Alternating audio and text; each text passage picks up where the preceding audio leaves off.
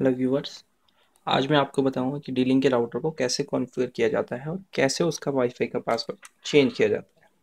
Simple सबसे पहले आपने राउटर को ऑन करना है।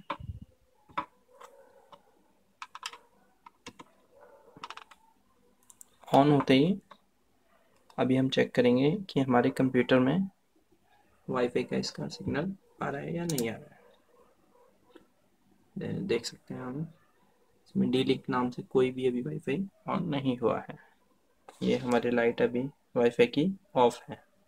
ये ऑन हो गई है। ऑन होते ही हम फिर कंप्यूटर स्क्रीन पे चेक करेंगे।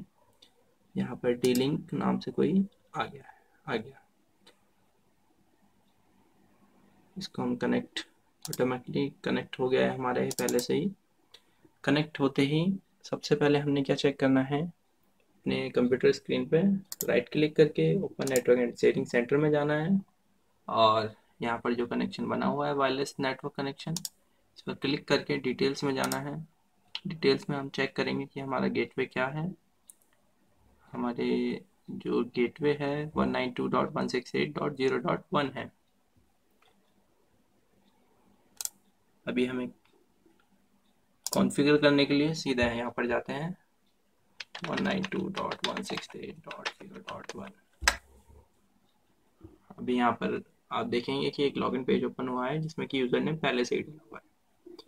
और हमें इसके अलावा इसमें कुछ पासवर्ड नहीं डालना है, क्योंकि password as it is blank रहेगा। सीधा लॉगिन करना है हमने। लॉगिन करते ही एक स्क्रीन आपके पास शो होगी।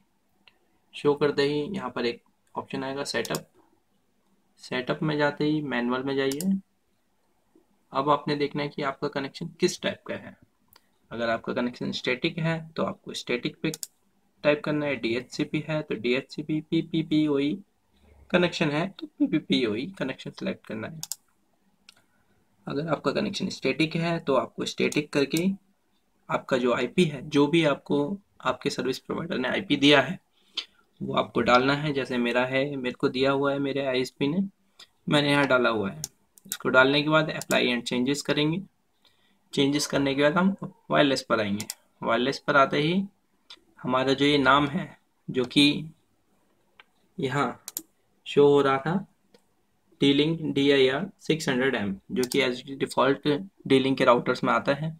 अब हम क्या करेंगे, इसको चेंज करेंगे। हम इसका नाम रखते हैं गूगल और यहीं पर नीचे ऑप्शन है। वाईफाई के पासवर्ड को लगाने का। अब हम इसमें से कोई भी एक सिक्योरिटी लगाकर पासवर्ड लगा सकते हैं। यहाँ पर सिंपल हम एक पासवर्ड लगाते हैं। Admin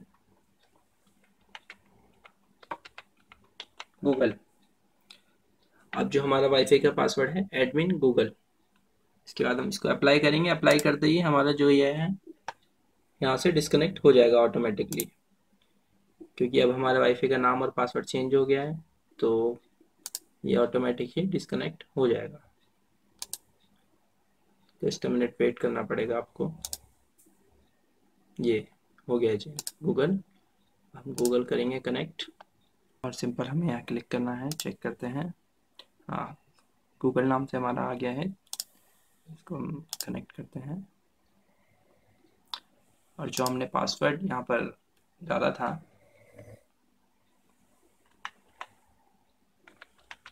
admin Google.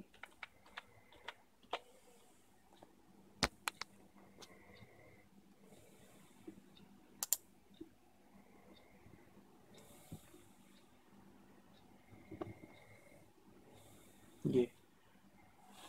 सिंपल ये तरीका है आपको पासवर्ड चेंज करने का और आईपी एड्रेस कॉन्फ़िगर करने का। अब अगर, अब आपको क्या काम करना है, आपको इंटरनेट कनेक्शन ऑन करने के लिए अपना आपके वैन पोर्ट में, जो कि इंटरनेट का पोर्ट होता है, जो कि आपके आईएसपी के थ्रू जो लाइन आती है, वो यहाँ पर इन करनी है। जैसे मेरे पास ये आईएसपी की लाइन आई हुई है, ये आईएसपी की लाइन है, इसको मैं यहाँ पर इन करता हूँ। इन करते ही यहाँ पर एक लाइट ऑन हो जाएगी, ये हमारा इंटरनेट कनेक्शन ऑन हो गया है। अगर इन केस नहीं होता है आपका इंटरनेट कनेक्शन तो आप एक बार से आईपी एड्रेस चेक कीजिए और अपने आईएसपी को कांटेक्ट करिए। Thank you for watching this video